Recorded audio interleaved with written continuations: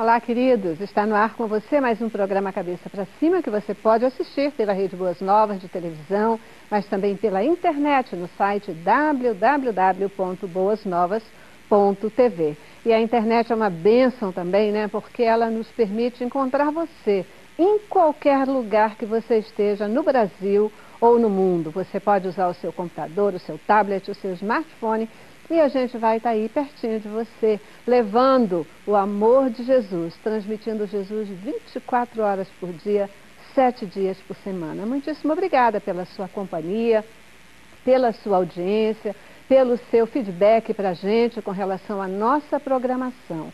A nossa grande meta é continuar abençoando a tua vida, levando o amor de Jesus até você. E também queremos aqui continuar falando sobre temas que fazem diferença na sua vida. Portanto, continua mandando a sua sugestão de tema, o que você quer ver debatido aqui, temas que você quer que a gente reflita sobre eles e a gente vai sim buscar especialistas e vai buscar atender você. Que o Senhor te abençoe, te guarde, que Ele possa estar presente na tua vida, atendendo os desejos do teu coração.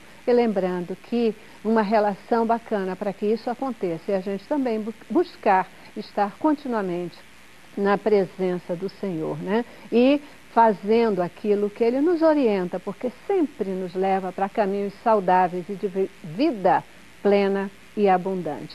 Obrigada também, querido semeador de boas novas, você que está sempre com a gente, você que tem a visão correta do que é a Boas Novas, uma grande missionária cumprindo o ID de Jesus. E você se alia a Boas Novas orando, contribuindo financeiramente, para que juntos possamos levar esse amor de Jesus e abençoar as pessoas. Nós também oramos por você e rogamos ao Senhor que Ele mantenha acesa essa chama, que Ele te abençoe, que Ele te guarde em todos os dias da tua vida, tá bom? Cabeça para cima de hoje é um programa especial. E é especial porque é sempre especial a gente falar de superação. Pessoas que, enfrentando barreiras físicas e psicológicas em sua vida, conseguiram vencer essas barreiras e tornar-se campeões. Gente de fibra, muita fibra, que mesmo perdendo parte do corpo, ao perderem essa parte do corpo, encontraram forças para ir à luta continuar a vida, continuar vencendo, batalhando e se tornaram atletas de destaque. Nós vamos falar sobre superação. Nós vamos acompanhar e conhecer a trajetória de superação de atletas paralímpicos. Começamos com o nosso informativo e já já eu apresento aqui a equipe que vai conversar conosco hoje. O processo de superação é uma jornada pessoal, mas não pode ser uma jornada solitária. Precisamos sempre contar com o apoio da nossa família, dos amigos e conhecidos. A esperança deve ser a nossa companheira inseparável. Diante das dificuldades cotidianas, pode-se pensar a esperança como a construção de alternativas para uma vida melhor, começando do lugar onde nos encontramos, com a crença pessoal. Um grande exemplo de superação são os atletas paralímpicos, que vencem dificuldades físicas para dar orgulho a uma nação. A esperança pode ser composta por elementos distintos. Uma meta, encarar caminhos para atingi-la e crença na própria capacidade de perseguir os seus sonhos, crescendo para ampliá-los. É isso aí, né? É muito bacana a gente poder ver o resultado do trabalho dos nossos, dos nossos atletas paralímpicos. Na verdade, da gente ver o resultado de trabalho de pessoas que é, conseguem superar desafios, conseguem superar barreiras físicas e conseguindo resultados que, no fim das contas, orgulham todo um país e que são super importantes para a gente entender que as maiores limitações da nossa vida estão em nós mesmos. Né? Hoje a gente vai falar sobre aqui a trajetória de atletas paralímpicos e para conversar sobre esse tema e para nos contar suas histórias e também o seu trabalho, eu recebo aqui no estúdio a Roberta Moura de Souza Silva. Roberta tem 32 anos, ela é paratleta de atletismo e canoagem. Muitíssimo obrigada por estar aqui com a gente. Obrigada, Celeste, pelo convite. Uhum. Você que tem aí uma história de sucesso, com certeza, para compartilhar com a gente, né? Não tem jeito, a gente sempre fala às vezes, né? É, pessoas que são, é, me permita colocar assim, inteiras, têm todas as partes do corpo e às vezes colocam tantas barreiras, tantas limitações para conseguir objetivos, né? E de repente a gente vê pessoas que têm um processo de superação como você, nos dão força, nos dão ânimo e fazem entender que isso é possível, né? Obrigada mesmo por estar aqui com a gente, tá bom? Eu que agradeço. Também conosco o Claudemir Santos. O Claudemir é professor de Educação Física, é também especialista em esporte paralímpico, ele é mestrando em Ciência da Reabilitação, treinador de, e para-atleta de atletismo. É da onda. De trabalhar. Né? Bacana, né? isso aí, isso aí. Muitíssimo obrigada por estar aqui com a gente. Prazer meu, eu fico feliz do convite. Acho que a gente vai ter oportunidade de abordar assuntos importantes desse segmento, uhum. da pessoa com deficiência, né? assuntos socialmente relevantes e que tem tudo, tudo a ver. Agora estamos às vésperas de sediar o maior evento para a pessoa com deficiência do mundo, né? Verdade. Segundo maior do mundo, então, muito importante. Pois é, né? E é, vocês que vivem né, essa questão toda, qual é, na verdade, assim, o maior desafio de uma pessoa, de um atleta paralímpico? Qual é o maior desafio a vencer? As barreiras físicas, as barreiras psicológicas? Como é que é essa história? Como é que é para você? Então, a parte da barreira psicológica, ela influencia bastante, porque precisamos de muita força para poder conseguir se adaptar a não ter um, uma parte do corpo, uma perna, você está habituada a anos da sua vida e conseguir caminhar e um belo dia você não conseguir mais, você precisar da sua mão para utilizar e você tem que se dispor de adaptações para que você consiga é, fazer com que o seu psicológico associe aquilo. Uhum. Então, dia após dia, a gente vai ultrapassando uma barreirinha dessas e para chegar até o nosso objetivo. Uhum. Uhum. E como é, qual é o teu olhar? O meu olhar é, passa por essas abordagens, né, do psicológico, claro, da nova realidade. É um corpo novo que surge e você tem que entender essa linguagem corporal, né, mas envolvem aspectos sociais também, aspectos de como o outro o vê, né, como essa interrelação entre é, socialmente. Né. Uhum. Eu acho que a gente tem que, e o desporto paralímpico vem quebrar certos paradigmas, né, é, um olhar, mudar o olhar, não um olhar de pena da pessoa com deficiência, muito pelo contrário. É uma pessoa que tem seus talentos, que tem suas potencialidades, que precisam ser abordados, precisam ter uhum. dada a, a, oportunidade deles acessarem isso, né? Então, eu vejo que o, o, movimento paralímpico, o conceito da pessoa com deficiência é mais amplo, né? A gente tem que entender um pouco da história do que a pessoa com deficiência passou ao longo da, das épocas, né? Uhum. Nós sabemos que temos casos na história de, de extermínio de pessoas com deficiência, graças ao, à evolução, e claro, a gente hoje tem uma aceitação. Mas como essa pessoa é colocada na sociedade, as barreiras, não só arquitetônicas, barreiras culturais mesmo, isso vai influenciar diretamente no desenvolvimento desse jovem, né, desse idoso, dessa pessoa numa realidade diferente, que tem caminhos diferentes, mas que o objetivo a ser alcançado. Uhum. No Brasil, essa questão desse enfrentamento dessa barreira social, é, é, da aceitação, né, é, não só do outro, desse olhar de pena, etc., né, e não de um olhar muitas vezes de admiração, que é o olhar certo que deve se ter, uhum. né, é, também de empresas, de emprego, etc. No Brasil isso é mais forte? Ou como é que vocês veem o estágio que a gente está vivendo aqui no Brasil? Bom, no Brasil eu acho um pouquinho mais complicado, porque eles nos enxergam sim como deficientes.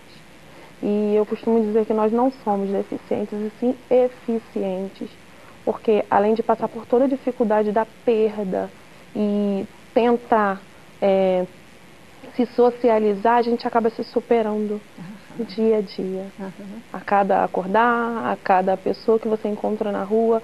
E hoje em dia os ônibus estão precários para nós, é, as entradas em hospitais, comércios. Hoje não existe isso no Brasil. Uhum. E se formos para fora, a gente encontra uma acessibilidade maravilhosa, fora a visão em que as pessoas têm de nós. Nossa, ela não tem um braço, uma perna. Uhum. Isso não influencia. Somos uhum. todos iguais, uhum. cada um com a sua deficiência. Uns tendo todos os, todas as partes do corpo, outros sem. Mas às vezes a deficiência maior ela está aqui, não no corpo. então verdade. somos todos iguais. Porém, como a sociedade ela estitula, sabe, que o deficiente é porque falta um pedaço.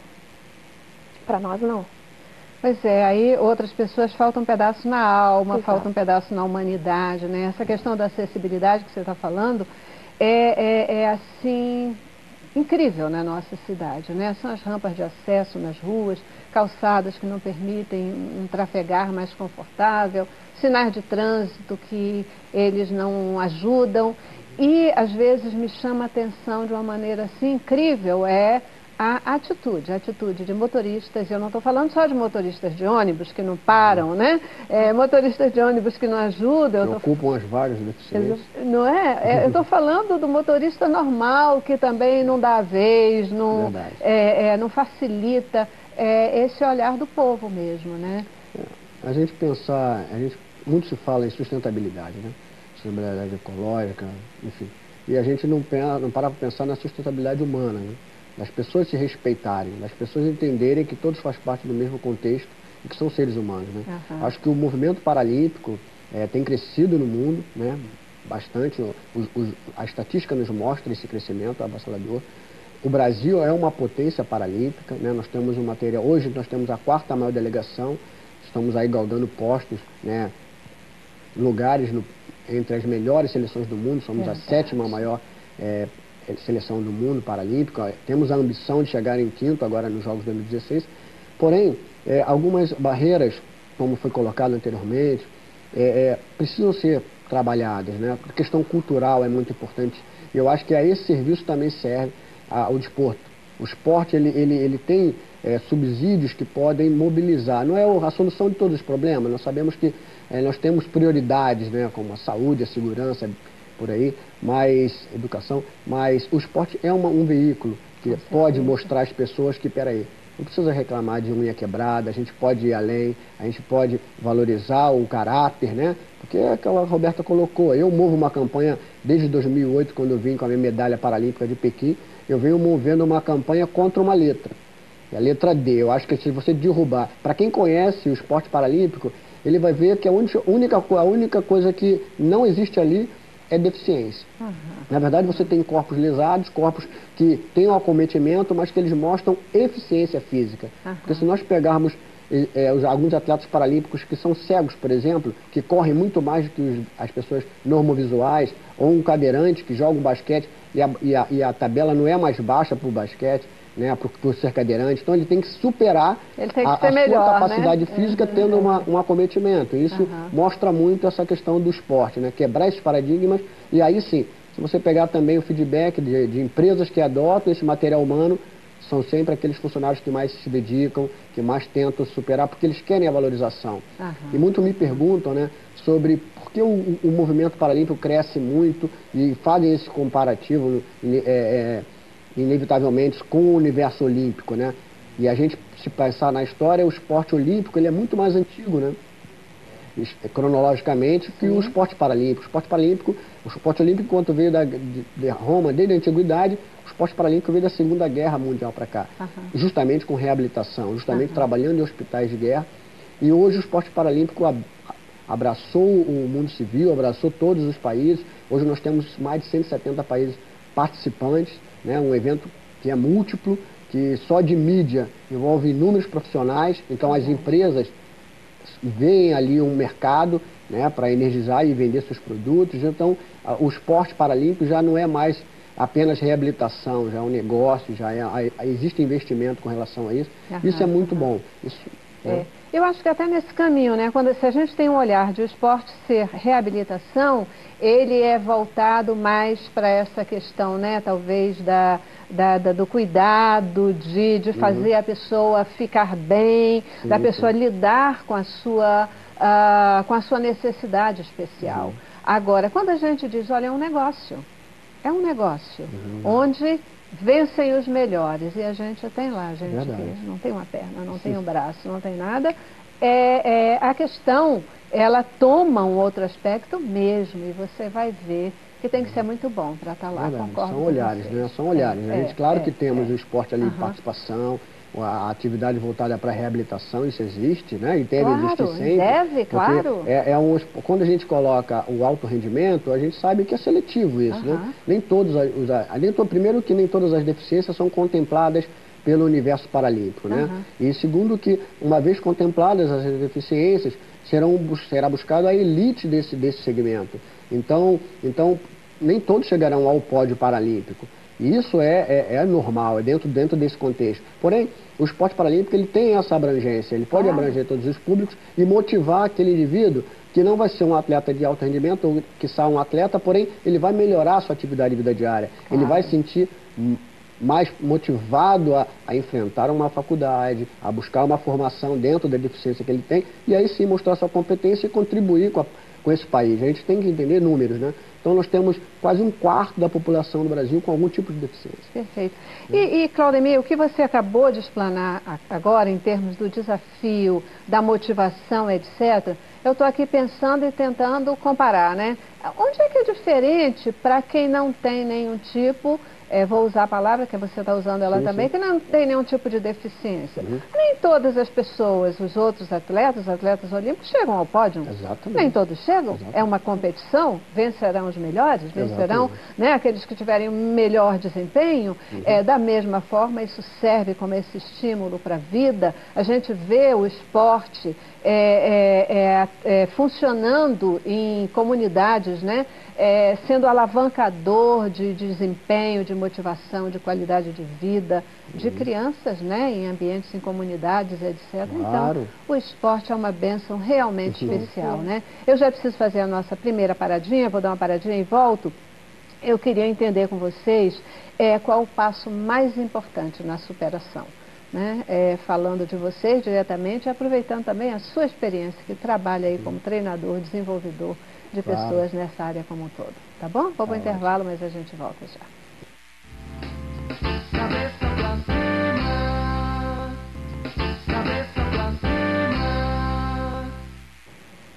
Hoje a gente está falando aqui de superação, né? E num tempo aí que fala-se tanto em Olimpíadas, é o Brasil vive essa realidade também, né? Aí às vésperas de 2016, a gente está aqui com atletas, com pessoas que têm vivido essa realidade e que nos trazem, né, de uma maneira bastante clara e próxima, essa realidade da superação. É, como é que aconteceu é, a sua amputação? Em que momento da sua vida isso aconteceu? É, como é que foi esse processo? Então, a minha amputação, ela ocorreu na volta do trabalho. Um carro veio na contramão e houve uma colisão ele estava embriagado e no momento da, da batida eu perdi minha, minha perna. Amputei o joelho na hora e eu fui arremessada e fraturei toda a bacia. Tive um trauma bem significativo, mas em nenhum momento eu acreditei que eu não suportaria. Uhum. Eu levei aquele primeiro, aquele primeiro impacto de que o que, que eu estou fazendo aqui nesse hospital? O que, que houve com a minha perna? Mas eu vi uma dificuldade e ao mesmo tempo eu acreditei que eu fosse conseguir ultrapassar aquilo pelo fato de eu estar ali. Uhum. Já foi um passo e tanto. E aquele foi o primeiro instante em que eu me apeguei assim tanto a Deus naquela hora. E eu pedi a oportunidade de superar tudo aquilo. Eu sempre tive em mim é, uma força muito grande de superação uhum. em tudo, em cada dia, antes mesmo da minha amputação. E tive todo um suporte, passei por tratamentos psicológicos e consegui ultrapassar com muito sacrifício. Foram três meses bem brutais, de muito choro, perder movimento da cintura para baixo, mas com muito esforço de mais de cinco pessoas dentro de um hospital fora, fora em que me apoiaram tanto, eu consegui ultrapassar isso e vem sendo uma fratura tão brutal que seria para que hoje continuasse numa cama. Uhum. Hoje eu consegui descobrir muitas outras coisas a partir da deficiência e me vi como alguém normal, assim como diz a sociedade. Né? Porque todos somos, é porém a sociedade, como sempre indica muito que quem tem todos os membros são normais. Eu me considero normal desde que eu conheci o esporte na minha vida. Você teve altos e baixos, assim, momentos de você é, dizer, não, isso não vai me atrapalhar, isso não vai me limitar, e momentos em, você, em que você sentia essa coisa, né, desse desespero, de, como você falou, né, muito violento, é, de dizer, não, acabou tudo. Isso aconteceu, esse vai e volta, ou você, por já ser uma pessoa como você mesmo está dizendo, de espírito muito aguerrido, é, não teve dúvida de que você superaria o tempo todo? O tempo todo isso vem na cabeça da uhum. gente, porque somos seres humanos, temos sentimentos. Uhum. Então é uma guerra muito grande o tempo inteiro. E só depende de nós permitirmos ou não mergulhar nesse mar de tristeza e lamentação. Só que eu não me permitia. Bacana. Em meu quarto tinha uma única janela no hospital. Passei um mês no CTI e os médicos todos os dias chegavam lá e olhavam para mim: Você ainda está aí? Você já tinha ido embora, falecido, no caso, não para casa. Eu fiquei um mês com Nora no aparelho, uma impressão a quatro. E os médicos diziam: Estamos esperando a hora da morte. E todos os dias tinha uma enfermeira, tinha um médico, tinha alguém, olhava e aquilo me me instigava a querer mais, porque se eu passei uma semana, 15 dias, um mês, eu posso mais do que isso. Eu venci aquele instante tão difícil, que era para estar viva. Esses três meses foram de lutas brutais. Até o dia em que, no último mês, em que eu olhei para aquela única janela, toda escura, e eu achava que eu não sobreviveria. Pronto, acabou, é o fim para mim. E ao mesmo tempo aquela voz dentro de mim, não, não acabou, não é o fim. Aham, uhum, aham. Uhum. Qual é o momento assim, qual é a, a, a, o passo mais importante para esse processo de superação? O que que você, além de ter trabalhado com você mesmo, você diz para as pessoas com as quais você trabalha? Acreditar. Né? Acreditar. Na verdade, a gente tem uma palavra oportunidade. Eu acho essa palavra extraordinária, né? Quando você tem é, interesse de alguma coisa, que ninguém, uma coisa que é comum a todos, é, é a paixão pela vida. Todos querem viver, todos querem seguir. Né? Por mais que a dificuldade aconteça, a gente pode evoluir. Então você tem uma oportunidade. Muitas vezes a gente não tem essa oportunidade, e aí não há o que se fazer. Uhum. Porém, é, no meu caso, eu, eu sofri um acidente de trabalho. Né? Eu sofri um acidente com uma granada de mão, eu sou militar reformado. Então, na verdade, eu, a, a mão foi pulverizada na hora e eu tive diversas lacerações, lacerações no braço direito. Então eu, eu, tive que reconstruir esse braço, porque sem o braço durante meses, né? Força e difícil, o braço também, abdômen abriu. Então a, o risco é, de morte era muito iminente, né? Nós tivemos infecção hospitalar, fiquei muito tempo hospitalizado. Mas assim, é, é, penso que a gente tem sempre o algo a mais, né? Deus nos dá uma força superior. É essa força que a Roberta colocou é extraordinária. Então, você pegar em Coríntios, né, ele diz lá que correi e alcançarás o prêmio. Eu acho que faz muito da minha vida isso, é o que eu tento passar para os meus jovens, para as minhas crianças. Eu acho que a minha medalha paralímpica né, só vai gerar frutos e gera frutos a partir do, do que eu consigo proporcionar como legado aos meus atletas. Então, quando eu vejo um jovens, um jovens como a Roberta e outros que eu tenho lá e tenho oportunidade de trabalhar, porque Deus tem me dado essa oportunidade de, de passar um pouco do meu conhecimento, da minha vivência para eles e tentar contribuir na vida deles. Vejo eles vencendo as suas barreiras, vencendo suas limitações, indo à frente, melhorando a sua autoestima, buscando né, é, socializar com as pessoas, é, através do esporte ou não eu acho que me recompensa. Eu acho que ali valeu a pena e não é vai ser ficar pendurada no, na parede ali como souvenir. A gente tem algumas fotos aqui de, de, de alunos seus, né? Do sim, pessoal sim. que você treina. Vamos ver as fotos, você fala pra gente um pouquinho sobre elas também. Claro, claro. Roda, roda as fotos. Bom, esse é um caso interessante, que é um atleta olímpico, eu treino atletas olímpicos, não tem deficiência, fazendo levantamento de peso. Esse já é um atleta de má formação congênita, a Roberta aí, com a amputação traumática, ali fazendo a força de trabalho de força e fazendo o trabalho já voltado à especificidade do atletismo, né, um trabalho de coordenação, ali com medicina e ball. Aí um atleta fazendo o lançamento do disco, né, um atleta também amputado por trauma, aliás, por uma bactéria, aí fazendo coordenação voltada mesmo ao atletismo, juntando todos eles. Né? Então você tem muletante, você tem andantes, você tem má formação, você tem lesões diversas e a gente trabalha a integração. Então, na verdade, o que nós temos ali é, é um sonho, né? assim como o Martin Luther King teve um sonho, eu também tenho um sonho, né? um sonho onde não haverão Jogos Olímpicos e Jogos Paralímpicos, haverão jogos, né? onde haverão seres humanos ali porque não, não há diferença. Você não tem é, um para-engenheiro ou um para-advogado, então você não tem um para-atleta, você tem um atleta.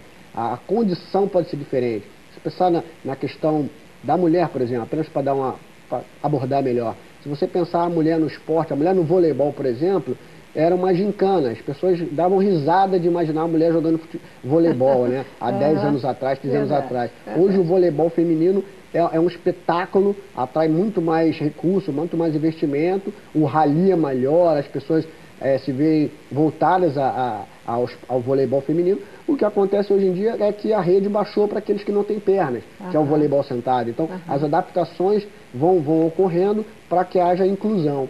E é isso que essa é a proposta. Eu acho que essa proposta, proposta de você é, a, é, abranger todas as pessoas, né? Cada um com, seu, com as suas potencialidades, cada um com seus talentos, contribuindo, né? Você imagina que dentro desse universo de pessoas que são margeadas pelo preconceito, são pessoas que vão estar onerando a Previdência Social com potencialidade de contribuir. Verdade. E aí Verdade. são aqueles contribuintes que acabam tendo que viver a, é, no assistencialismo. O esporte paralímpico, ele quebra esse paradigma, ele mostra que as pessoas podem trabalhar, né? Verdade, as pessoas podem produzir, as pessoas podem ser felizes, tem que apenas haver a, a inclusão, uhum. a oportunidade.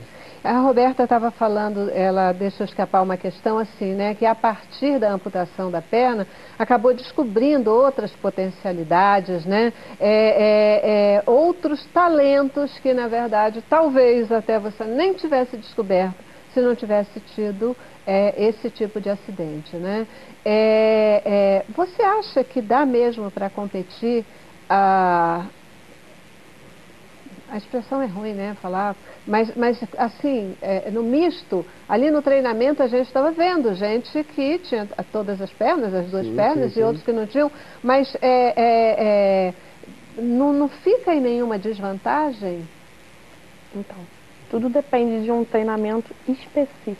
Uhum. Assim como o meu treinador ele conseguiu, é possível. Uhum. Ele é a prova disso. É, a, gente, a gente aborda isso, né? Dentro do paradesporto, dentro do esporte como um todo, existem, existem princípios, né? Princípios esportivos. Uhum. E um desses é a equidade, né? O atleta ele tem que ter, não pode ter vantagem sobre o outro. É, e, né? é talvez seja e essa, essa pergunta. Equidade, é, equidade é, é fundamental no esporte paralímpico. Na verdade, você tem um universo muito grande de deficiências que são classificadas, que são acondicionadas em classes funcionais. Uhum. E a partir daí a, a, a, competição entre os atletas se dá de maneira é, é, é, nivelada e sem, sem privilégios para nenhum deles. Dentro do, do, do segmento paralímpico, comparando com o segmento olímpico, a gente tem isso. E a performance é um ponto de inflexão. O profissionalismo voltado para aquele atleta, a qualidade, ela falou bem, da equipe multidisciplinar que está por trás desse atleta, né? seja o, o, o, preparador físico, o educador físico, o fisioterapeuta, o médico, que vão estar ali preparando esse atleta, o atleta vai estar na ponta da lança. Né? A gente diz no atletismo que é aquele que vai sangrar, que vai lá para o campo de batalha, para a pista, para a quadra, pro, né? e vai competir, vai representar o Brasil, vai sustentar é, é, é, uma medalha. Mas ele, ele é erguido por uma, um grupo por trás desse atleta, né? as empresas patrocinadoras, né? o pessoal de mídia que leva o, o, o resultado desse atleta para aquele jovem que está lá no interior, que não, não termina a possibilidade porque não tem é, uma assistência ali, mas que ele melhora a sua autoestima, que ele vai para a escola, que ele já começa a encarar o mundo de uma forma diferente. Então eu acho que todo esse contexto tem que ser valorizado. Só para de, deixar um detalhe, se você pegar o recorde mundial do Zen Bolt, né, o recorde olímpico, e comparar com o recorde paralímpico, você tem menos de um segundo de diferença. Olha Então, a performance, né? que a é performance aí... desses atletas uhum. é, paralímpicos, eles estão aí para nos surpreender. Eu sou bastante suspeito de dizer porque eu sou um atleta paralímpico. Não, mas, mas é, o é. esporte paralímpico está mostrando isso. Vocês terão, daqui a menos de 300 dias, a oportunidade de é, pre, é, presenciar um, um espetáculo né, no mundo, porque o esporte olímpico, enquanto ele é é, o atleta olímpico, quando ele é muito associado a semideuses, né, você vai lá para ver a praticidade da modalidade, mas, poxa, quem vai correr como um, um Zayn Bolt ou quem vai nadar como Michael Phelps? Agora, no esporte paralímpico, não, você vai lá para ver a superação. Está é, tá muito associado à pessoa que está ao seu lado, uhum. que passou por um drama e que dá a volta por cima, e esses valores intrínsecos dessa modalidade é apaixonante, é contagiante, e por isso justifica, é uma das justificativas que tem no crescimento do esporte paralímpico. Verdade. É essa divulgação, esse marketing, mostrar que é possível, isso cria, incentiva né, outras pessoas a entenderem o que, que, é isso. É possível mesmo. Se é, é, é, ele pôde, se ela pôde, eu também posso e agora depende dessa questão, dessa infraestrutura. Eu já vou dar uma nova paradinha, uhum. vou para o intervalo e eu queria voltar falando sobre isso. Né? Como é que é essa infraestrutura de apoio? Para que é, surja o atleta. O que, que é preciso, além, obviamente, dessa coisa da vontade, da, do, do querer, porque vocês uhum. já disseram e eu acredito que isso é fundamental, mas o que mais é preciso para que a gente tenha um atleta é, com uma história de superação, um atleta campeão? E vamos decodificar o que, que é ser um campeão nessa questão toda, né? Tá vamos para o intervalo, mas a gente volta já.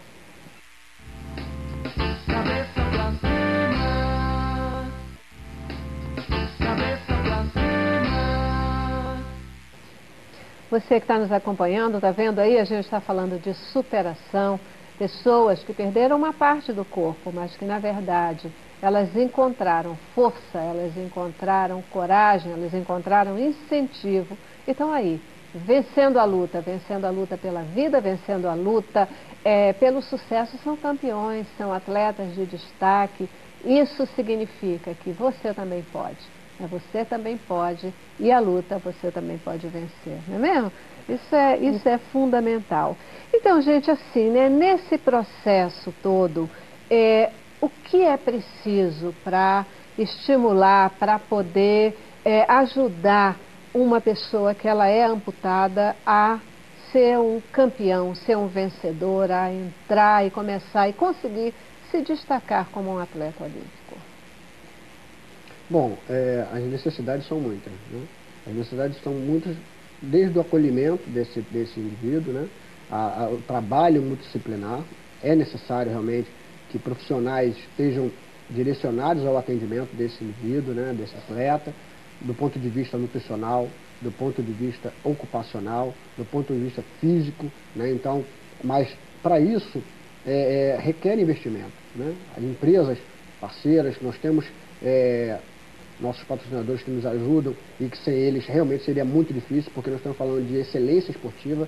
Então, um atleta que demanda trabalhos específicos de força, trabalhos de avaliação fisiológica, né, biomecânicas, para a gente poder realmente sair do empirismo, sair do, do achômetro, né, do, do universo e entender aquilo é, de uma maneira científica. Então, o esporte paralímpico, ele, ele vem evoluído, né, ele vem evoluindo nos últimos cinco anos de uma maneira é, é, é, maravilhosa, porque a academia, a universidade tem se debruçado sobre isso, tem lançado olhar e luz sobre esse segmento. Né? Então, entender como funciona o corpo lesado, como funciona o metabolismo de um tetraplégico, como funciona o equilíbrio de um deficiente visual, enfim, trabalhar essas potencialidades, né, como acontece lá com o atendimento que eu faço com a Roberta. Né? Então ela chega para mim com, com, inúmeras lesões, né? inúmeras lesões de um treinamento que não foi bem direcionado e aquele corpo que não foi preparado apenas otimizado. Então é como se você tem um carro e você só fica rodando, rodando, rodando com o carro, nunca leva no mecânico, nunca leva para fazer a manutenção preventiva, enfim. Uma hora ele vai quebrar. Uhum. Então o corpo não é uma máquina, o corpo também quebra e quebra mesmo. Então, e a, a, existem situações bastante adversas, bastante preocupantes. Por isso, essa, esse, esse cuidado né, na avaliação, no teste, reteste, entender como é que funciona aquele corpo, até que ponto aquele corpo tem que, pode ir né, de uma maneira preventiva, porque nós temos um ser humano ali. Então, entender isso é, é, e entender que tudo isso tem um custo, obviamente, né? mas isso pode ser sustentável, uma vez que esse, esse, esse atleta, devido à sua performance, retorna para esse patrocinador seu, seu, seus recursos investidos. Claro. Então, eu quero agradecer aqui meus patrocinadores, Superar, está sempre com a gente, né? o Cefam, aqui do Rio, que nos, nos apoia, né? a Academia Quality, que também está sempre com a gente. Então, é, são, são essas pessoas que, que acabam tendo o seu retorno e viabilizando é, o, o atleta profissional conseguir atingir a performance e trazer medalhas para o Brasil. Isso é muito bacana, isso é muito bacana. A gente tem um vídeo do INTO, né, que é uma instituição que tem trabalhado muito aí também no suporte, no desenvolvimento. Vamos ver o vídeo do INTO, porque acho que ele complementa bem essa fala que você está trazendo agora. Fala vídeo.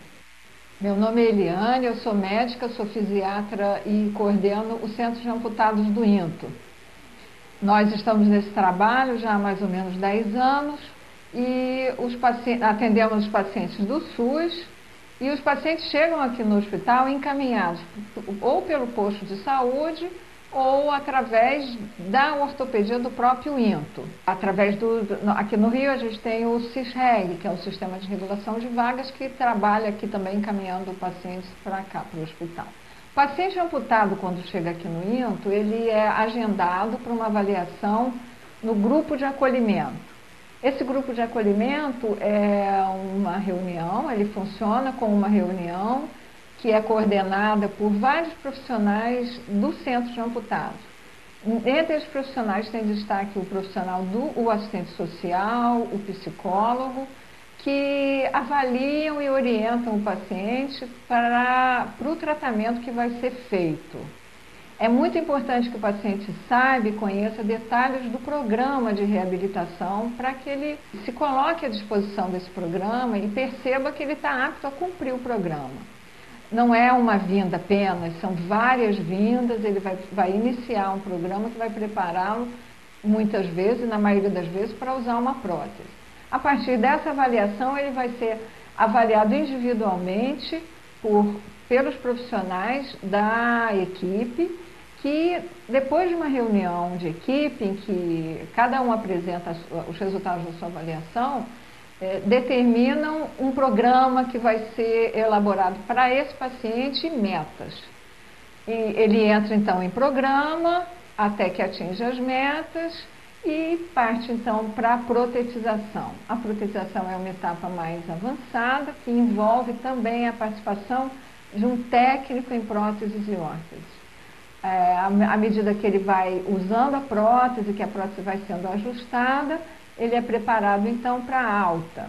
Na alta, nós esperamos que o paciente esteja apto a desenvolver a atividade que ele desenvolvia antes da amputação. Dentro do programa, nós ressaltamos muito a importância da atividade física e do esporte. Aqui no INTO, nós temos encaminhado para instituições que trabalham com esporte e temos tido ótimos resultados. Temos pacientes que já, inclusive, participam de, de, paro, de Paralimpíada e de competições aqui no Brasil e fora do Brasil. E a gente vê que o esporte para o paciente com deficiência é uma grande oportunidade de integração social, de, de ganho de autoestima. Meu nome é William Souza de Oliveira, é, sofri um, um, acidente de moto há 13 anos e devido a esse acidente eu fiquei muito sedentário. Então optei pelo esporte. E o esporte que me veio de, de momento foi a paracanoagem. A paracanoagem eu, eu consigo ter uma qualidade de vida melhor e abrir outra porta também, o arremesso de peso para as Olimpíadas que eu estou me preparando, trabalhando muito para chegar lá e trazer uma medalha aí para o Brasil, se Deus quiser, quem sabe. Que bacana, né? Que bacana. É comum o atleta é, ele, ele participar de mais de uma modalidade? Ele faz ali a canoagem, faz lançamento de peso. Isso é comum? Não, não é comum é, devido ao profissionalismo que a gente tem hoje no segmento paralímpico, né? Nós temos que entender princípios, né? A gente é, para chegar à excelência de uma determinada disciplina, seja o atletismo, seja a paracanoagem, outra modalidade, é preciso dedicação, é preciso profissionalismo, é preciso foco, né? é preciso uma série de, de, de, de atributos fundamentais para esse atleta. Então, uma vez que ele tenha é, desfocado esse, essa, esse ponto central na sua atuação, ele pode incorrer em perda de performance. Então, geralmente, o que a gente faz é um trabalho de triagem. A gente faz um levantamento da, da onde ele é mais competitivo, em nível profissional, né? onde ele pode ser melhor ranqueado. E a gente fazendo essa triagem, a gente direciona para a modalidade onde ele vai ter melhores resultados. Esse trabalho é justamente aquilo que atrai as empresas, porque eles sabem que ali eles podem investir, porque terão, terão retorno. Né? Como eu estava dizendo, aí algumas imagens nos, nos mostram isso. O trabalho muito importante que é feito no INTO, que vai justamente absorver esse material né, da sociedade, o material que vai buscar o INTO, um serviço lá de protetização, para sua qualidade de vida e que muitas das vezes gente, nós podemos ali encontrar possíveis talentos para poder migrar para o esporte. Né? E mostrando também nas imagens algumas é, fotos da, do trabalho que a gente faz na Uniswan, que é um trabalho científico, ou seja, uma universidade que voltou uma linha de pesquisa onde eu faço mestrado e doutorado exclusivo para trabalhar com o esporte adaptado. Então, no, no, no, Rio de Janeiro é a única, uma das poucas do Brasil, uma das poucas do mundo, que é uma universidade que criou uma linha de pesquisa exclusiva no é. segmento paralímpico. Então, você tem formação de mestres e doutores exatamente para trabalhar com esse material humano, para ah. entender sua, seus pormenores e poder dar uma contribuição, dar um retorno à sociedade para esse segmento. Eu acho que é por aí o crescimento nos alegra. Show, muito bom. É, qual é a sua, a sua área mais forte? Canoagem ou atletismo? Como foi a tua adaptação para esses esportes? Eu comecei na canoagem, foi ali que eu me descobri como atleta, foi ali que eu comecei a me superar e fui forte, mantive dois anos na paracanoagem, mas devido às lesões, aí eu estou me transferindo para o atletismo, mas me considero bem forte, uhum, me encontrei uhum. bastante ali. Uhum. E Ganhou medalha? Vou começar a competir ano que vem. Bacana, Até esse ano eu permaneci na canoagem, aí estamos fazendo um, todo um trabalho de recuperação e para poder estar tá iniciando as competições em maio do ano que vem. Opa, opa. O Brasil promete aí para as Olimpíadas? Você já deu uma dica, já deu a pala aí para a gente, promete. mas o Brasil promete? O Brasil promete sim. O Brasil, uhum. o Brasil é um país muito talentoso. Essa nossa, acho que a grande, a grande sacada do Brasil, o grande trunfo do Brasil é a miscigenação. Nós temos material humano extraordinário, né, do norte a sul do Brasil, a gente pode encontrar talentos. E temos a criatividade. A criatividade é outro carro-chefe nosso. Né? Nós não precisamos de é, grandes tecnologias para conseguir resultados importantes, né? E, e, o brasileiro, ele, ele é muito aguerrido, em casa ele, ele se agiganta, então a, nós realmente temos, claro, um, um, uma estratégia para alcançar esse objetivo. Nós sabemos que ao se aproximar do primeiro lugar, os desafios serão maiores, a guerra é outra. Né? Então, nós pegarmos o vetor desde 52, na primeira participação do Brasil em Jogos Paralímpicos, até hoje o Brasil só evoluiu. Só evoluiu a cada, a cada edição de jogos, o Brasil avança em, em colocação. A ideia é continuar. O Comitê Paralímpico Brasileiro vem fazendo um trabalho muito estratégico para isso. E o trabalho estratégico é o quê? É, é entender a, a, as qualidades né, dos nossos adversários, aqueles que estão à frente de nós, onde eles são muito fortes, onde nós somos fortes e onde nós podemos superá-los. Né? Nós temos um, um, um calcanhar de Aquiles que são atletas multimedalistas. Isso é um problema muito grave. A gente tenta corrigir porque um atleta que ganha 10 medalhas, 7 medalhas, ele é um risco para o país. Claro. Porque se ele tiver uma gripe, um resfriado ou ficar lesado, ele tira o país de uma colocação e joga lá para trás. Então a gente tem que trabalhar e a gente está trabalhando isso. Um evento que você colocou muito bem, Celeste, e eu fiquei feliz de, de participar, foi agora as Paralimpíadas Escolares 2015, que foi realizada na cidade de Natal, Rio Grande do Norte, onde nós tivemos 1.200 jovens, né, jovens em idade de 12 a 17 anos, ou seja, na Gênese, né? ali onde tem ah, os grandes talentos, Isso. as pedras brutas, que a gente pode lapidar e que vai fazer a, a sobrevida, né? a renovação da seleção permanente. Então isso foi extraordinário. É um evento que abrange todas as, as federações do Brasil e mais um destacamento, uma representação da, da Grã-Bretanha, que vem participar dos Jogos devido à, à, competência desse segmento. É um segmento que chancela, né, tem a chancela do Comitê Paralímpico Internacional e do Comitê Paralímpico Brasileiro. Então, um evento extraordinário. Nós tivemos ali dias maravilhosos, de emoções genuínas que só o esporte pode proporcionar. Eu acho que é, é, não tem preço. É verdade, né? é verdade. É, é, a gente tem assim, o Brasil tem tido reais motivos de ficar muito orgulhoso, né? Com toda essa equipe, porque os resultados de fato têm sido extraordinários. Olha só, já vou para o nosso último intervalo, tá? Vou dar uma paradinha e volto para as nossas considerações finais, tá, tá bom? Ótimo. Vamos lá.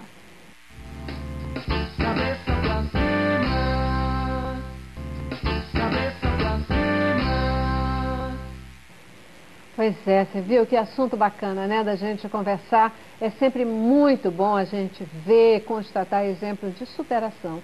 Pessoas que, diante de adversidades, não se paralisam, mas elas vão em frente, é, é, não se deixam abater e mostram que é, nós somos um corpo é, que vai além do braço, vai além da perna, vai além de uma amputação, né? vai além de uma amputação a nossa cabeça, o nosso interior, a nossa alma, ela pode nos alongar, ela pode nos completar e fazer com que o pedaço que se perdeu, Sim. ele não faça falta, né? É, digo isso aqui com muita tranquilidade a partir de conversar com vocês. Que coisa linda, gente. Que Deus abençoe muito, muito, Amém. muito mesmo vocês, o trabalho de vocês, porque ele é extraordinário. Olha só, tem uma pergunta aqui. A gente falou e você tinha citado essa questão dos jogos únicos, né? É, é, a participação de pessoas é, com alguma deficiência junto com outros que se dizem inteiros, integrais. É, já existe algum estudo nessa linha? A pergunta é essa: já existe algum estudo nessa linha? Isso é uma coisa da tua cabeça, do teu coração, ou já existe alguma coisa nessa direção? É, é do meu coração, pai, mas a gente já tem abordado isso, claro que nos bastidores de um grande evento, né? A gente entende que existem limitações para que isso aconteça, né? limitações operacionais. Né? Uhum. Um, um, é, seria um evento muito grande, um evento múltiplo. Você tem uma ideia, o, o segmento olímpico ele tem cerca de 300 eventos durante os Jogos. Né? O evento paralímpico são 500 eventos. Você imagina, se você pegar apenas os 100 metros. Então, no universo olímpico, você tem os 100 metros masculino e os 100 metros feminino. Uhum. No segmento paralímpico, você tem os 100 metros para cadeirante, os 100 metros para cego, os 100 metros para amputado, 100 metros... Então, quer dizer, seria demasiado extenso para a cobertura de mídia. Então, uhum. são fatores limitantes. Tem questões também mais, mais voltadas à especificidade, né? como a, a, o efeito de uma prótese mioelétrica, uma prótese de corridas, para em detrimento ou em vantagem para um atleta é, normo é, andante. Isso tem sido levado em consideração. Existem estudos que comprovam que não há vantagem, porém algumas, alguns questionamentos com relação a microfraturas, entre uhum, outros, que a gente sabe uhum. que existe. Uhum. Então, é, alguns estudos ainda precisam, estão numa fase embrionária, vão, vão solucionar, vão, vão encontrar um denominador mais à frente, mas por enquanto vamos ficar aguardando esse sonho, que seria bastante interessante integrá-los. Né? Uhum. Bacana, bacana. Você acredita nisso? Você acha que, que é uma ideia que deve avançar? Acredito. E você vai estar lá no paratletismo. Com certeza. Olha só, você me disse, e eu vou adotar, é, tem um slogan, né? Que a gente vai ouvir falar muito ainda. Ah, Aleijado está na moda. Isso. Né? Aleijado está na moda. É, mas o que, que você tem de ponto de atenção por trás desse slogan? É, exatamente. Eu criei esse slogan falando com um colega de mídia porque me, me, me causa bastante preocupação esse crescimento. Né? Quando a gente está diante de nós um evento de um fenômeno muito grande, né? um evento que abrange muitas pessoas, que envolve é, sonhos, jovens que têm seus sonhos, e, e me traz também o alerta sobre justamente da minha área, que eu trabalho na área de saúde, então como educador físico, acho que é muito importante que nós tenhamos esse olhar mais crítico. Né? E aí cria essa coisa de aleijado está na moda porque nós estamos a evento, às vésperas de um grande evento, as pessoas estão nos buscando, as pessoas estão se expondo, profissionais é, e pessoas do meio acabam se, propor, se, é, se propondo a, a, trabalhar com a pessoa com deficiência sem ter determinada competência. Então, é importante que tenha-se o cuidado de, dessa, de trabalhar com o corpo lesado para não causar maiores lesões desse corpo lesado. Nem todo atleta ele vai ser um atleta de rendimento e para ele ser um atleta de rendimento demanda tempo de preparação, demanda é, é, trabalho de reabilitação, demanda cuidados extraordinários.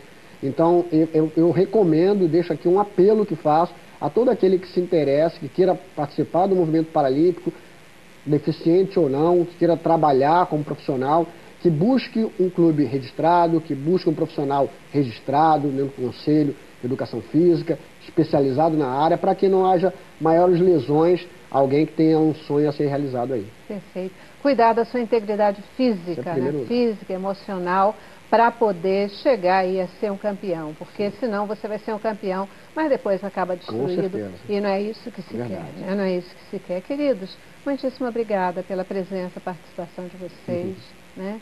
Quer dar um tchau? Eu agradeço pelo convite, agradeço por esse bate-papo super legal, muito construtivo. Bacana. E pode aguardar aqui em 2016. Isso aí, Roberta. Aí, muito bom, vamos torcer. Obrigadíssima. Eu que agradeço, agradeço a oportunidade do canal, né, ter disponibilizado esse espaço. Eu acho que esse trabalho de vocês é sensacional, é o que nos bota em evidência, é o que nos mostra e nos faz ser alcançado por outras pessoas. E eu acho que é isso. Eu deixo aqui, sou muito otimista, tenho certeza que faremos um grande evento, uma grande Paralimpíada, vai entrar para a história, alcançaremos sim nossa meta de quinto lugar ou até além, quem sabe, potências olímpicas são nossas adversárias, mas nós temos o povo e a brasilidade latente em nós. É isso aí, amém e amém, né? Amém, Para isso amém. você acaba de colocar aqui. Mais uma vez, muitíssimo obrigada pela participação de vocês, obrigada pela sua participação também aí em casa. Terminamos o programa com boa música e eu deixo vocês com o louvor do Ministério Mostra... Prostrados em Teu Altar. Paz.